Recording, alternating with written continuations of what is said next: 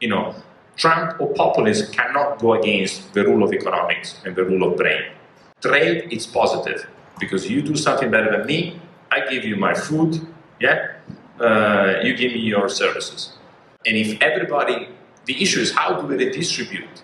Certainly, for example, the digital industry, in my view, has a lot to contribute to populism.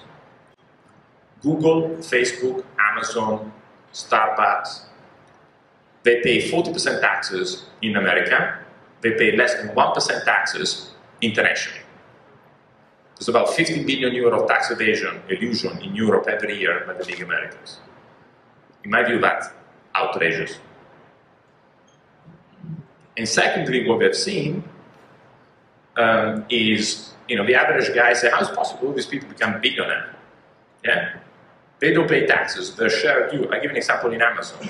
Amazon in England had massive impact on the average retailer. In London, I can get anything within an hour. So what happens, all my local shop shut down.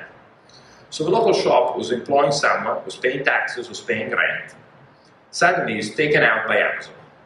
Fair enough, cheaper, faster. There's only one problem. Amazon pollutes, it gets the, you know, the delivery guy every day. Secondly, he's not paying taxes. He's paying zero taxes in England. So you have lots of industry which were paying taxes, were employing people, and that's not fair. I'm publicly saying so. You can see on my website that on paper I'm massively against it. And so that's the wrong side of capitalism. But it's not because it's against globalization, it's because someone was allowed to do something that is illegal, in my view, socially speaking.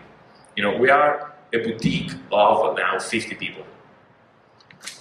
On an aggregate basis, us and my partner, over the last 10 years, we've been paying more taxes than Google and Amazon and Apple put together in the UK. Yeah? Fucking taking the piss, yeah? Now, uh, it's totally outrageous. So the issue is, how can that be tolerated? And it should be.